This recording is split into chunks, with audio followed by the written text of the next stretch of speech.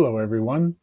Welcome to Adventures in Beekeeping. My name is Dale and today we will be talking about queen marking colors.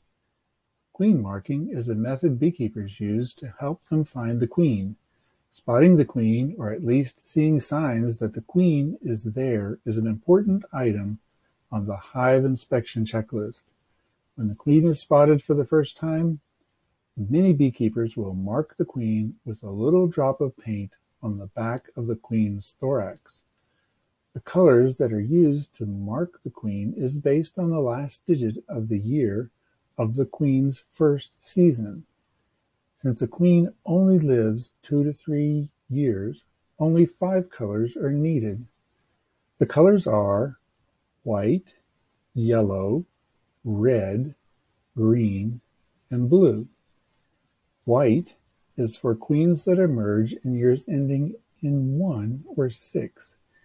Yellow is for years that end in two or seven. Red is for years that end in three or eight.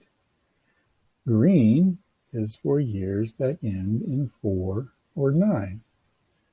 Blue is for years that end in five or zero. So, if you mark a new queen in 2020, the last digit is zero and the marking color is blue. Wow, that's a lot of colors and numbers. How will I ever remember that? If you remember this little saying, and remember that the first word starts with the first year, one, and the first letter of the word represents the color, the saying is, Will you raise great bees? White, yellow, red, green, blue. Will you raise great bees? White, yellow, red, green, blue.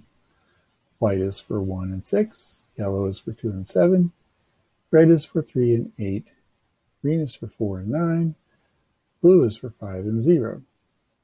Will you raise great bees? That's the saying. And that brings us to the end of the video.